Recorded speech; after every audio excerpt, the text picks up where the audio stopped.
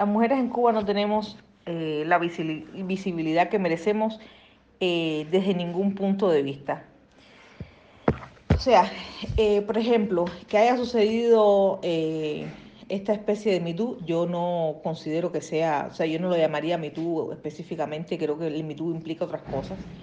implica revolucionar, revolucionar desde el punto de vista legal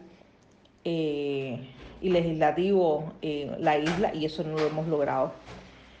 que hubo alrededor de Fernando Becker, eh, lo único que hizo fue destapar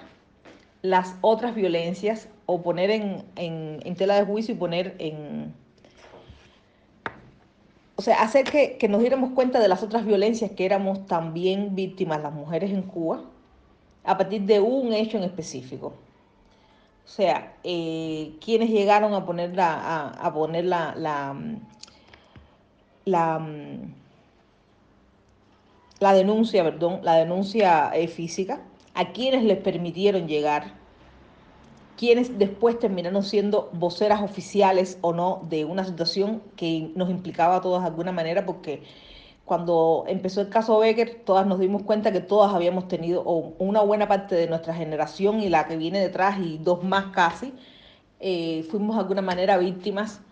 de, Fernando Becker, de la impunidad de Fernando Becker durante 20, 30 años. Entonces te das cuenta que no solamente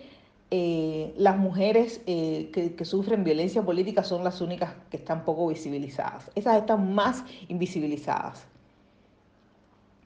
Pero eh, es que realmente quieres que te diga algo con la grisura que hay en el Parlamento, la grisura que tienen las filas de la FMC, yo creo que ni siquiera ellas mismas están visibilizadas. Entonces, bueno, eh, yo eso es lo que creo, ¿no? Que,